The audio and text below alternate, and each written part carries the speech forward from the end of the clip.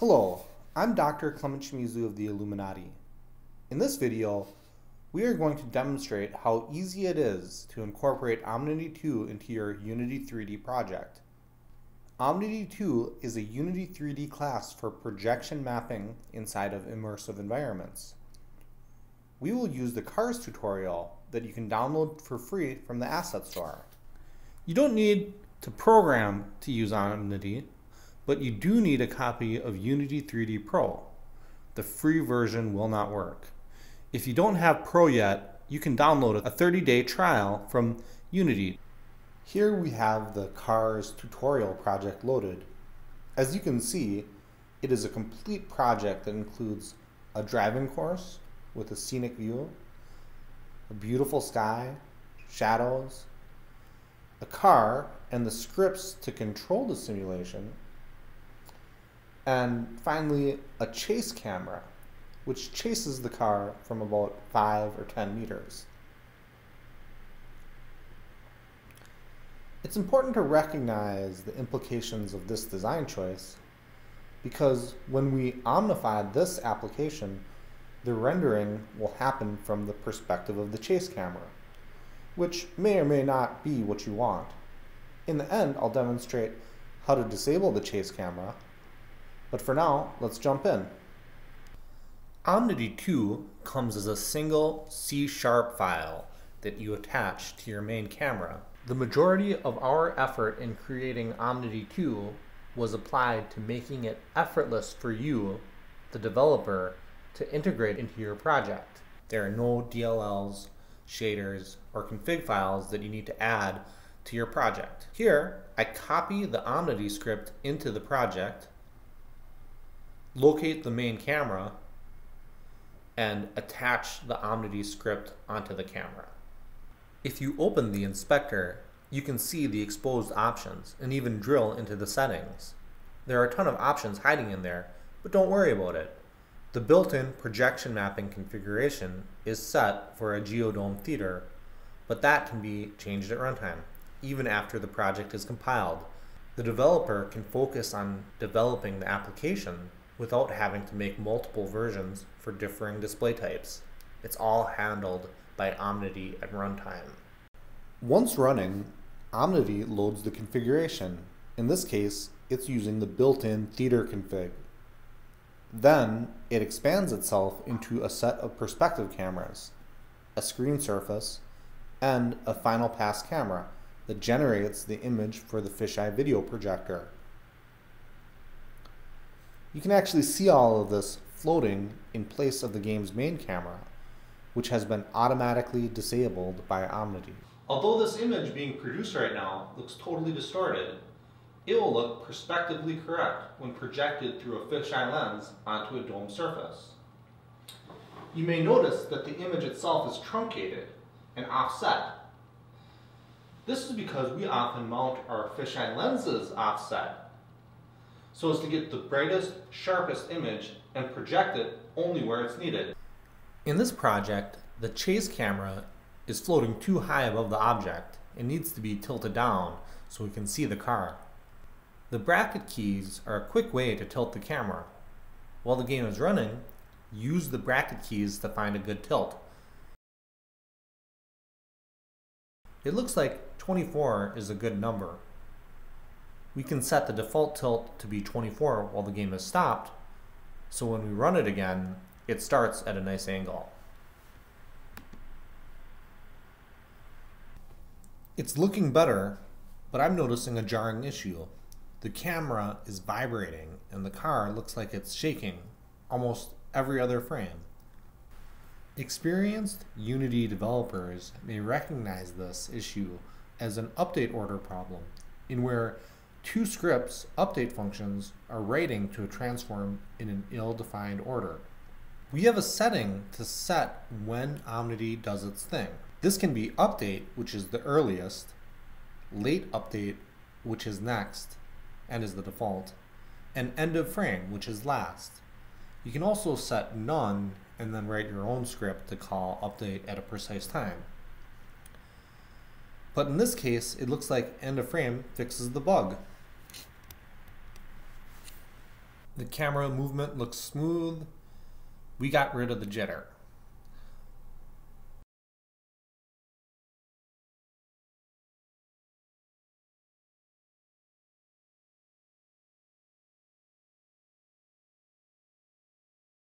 Remember to adjust this setting while the game is stopped.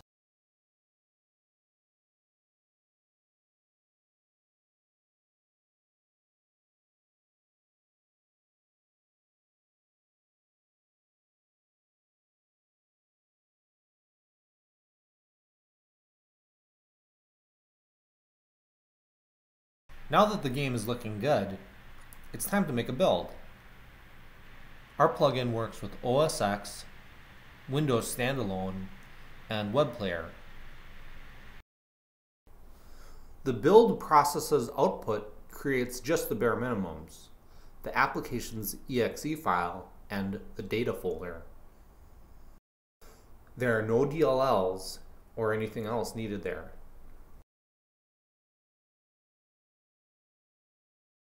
When we run the game, you can see that it is defaulting to the built-in configuration, and it is using the custom tilt we set.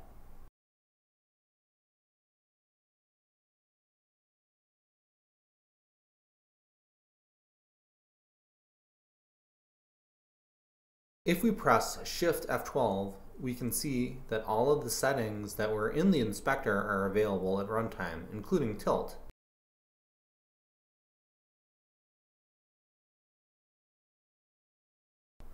The bracket keys work for tilt, but if you want to save the tweak settings, you can scroll back up to the top and press save.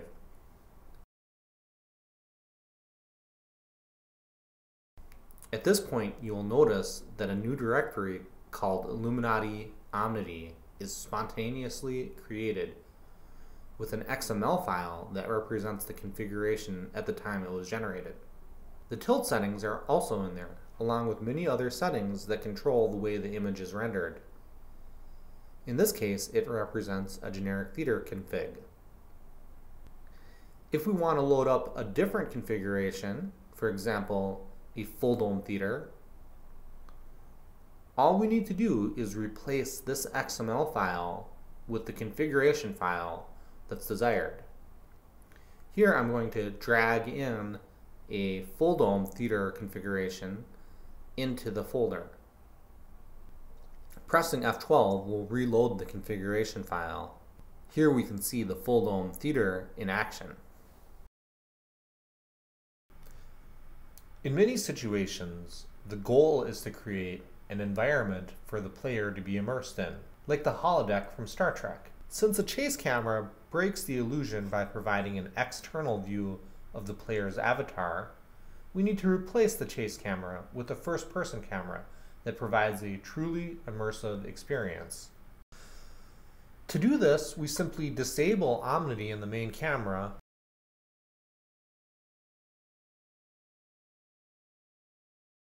and create a new game object inside of the car. I'm going to reset the transform so its local position is zero relative to the car.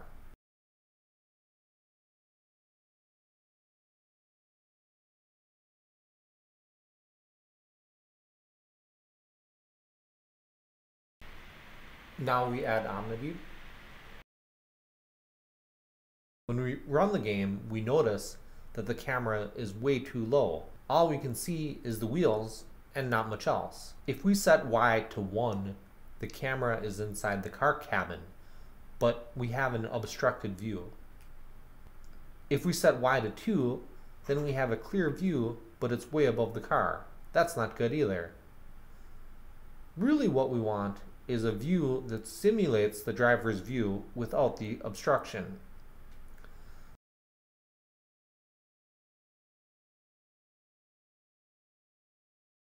To do this, I'm going to position the camera inside the car cabin, but disable the mesh renderers on the car. I'm just going to start clicking on car parts and then disable the renderers one by one.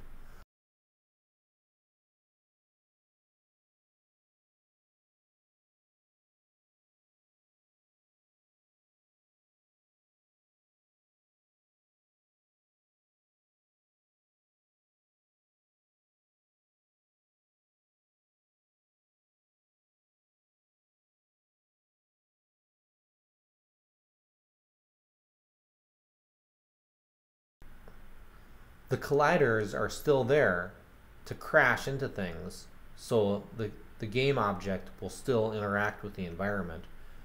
We're just making the object invisible.